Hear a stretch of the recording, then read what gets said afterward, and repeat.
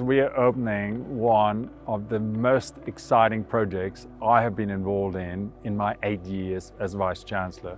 We are opening a 64 megawatt solar farm at Warwick. A solar farm that will produce 160 gigawatt hour of power each year.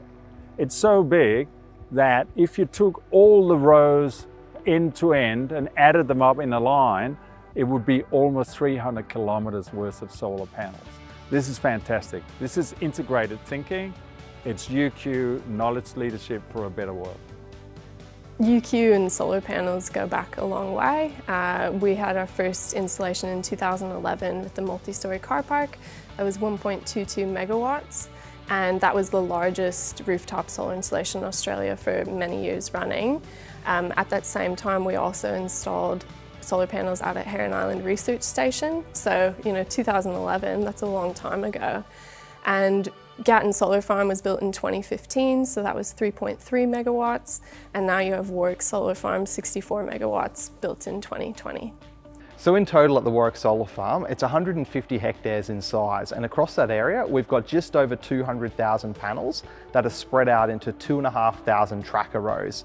One of the things that we researched at the Gatton Solar Farm when it was constructed was what the costs and benefits of the different solar tracking technologies are. And from that research and from those learnings, we decided that single axis tracking technology um, was the best option for Warwick. It presented the best compromise between the cost of the infrastructure to build up front and the additional energy yield that we get by being able to track the sun as it rises in the morning in the east and then sets again in the west. They're really, really high-tech, smart little pieces of technology, so they know if there's a storm coming, they stow into the wind.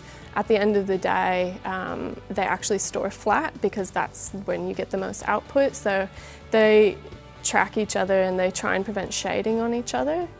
So one of the significant things about the Warwick Solar Farm is that UQ is going to become an active participant in the energy market. Rather than just getting a bill every month and paying that bill, we're also going to be a large energy generator. So what that means is that the Warwick Solar Farm will sell that energy into the grid and then UQ sites will buy it back at the same price, effectively offsetting that energy usage during the day.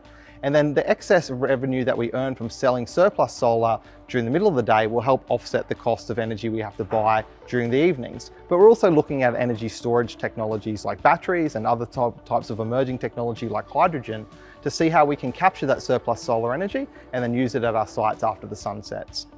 The potential for research out at Warwick is huge. It's, it's basically limitless because we own and operate the asset.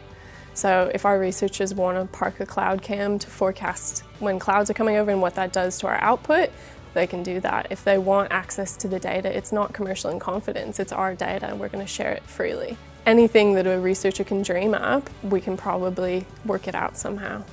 The fact that we're integrating 64 megawatts of solar panels into the grid is quite significant. There's a lot of challenges when we're doing that, so the fact that we've got it there, it creates a huge living laboratory for us here at UQ, not only for students and staff, but also our international collaborators.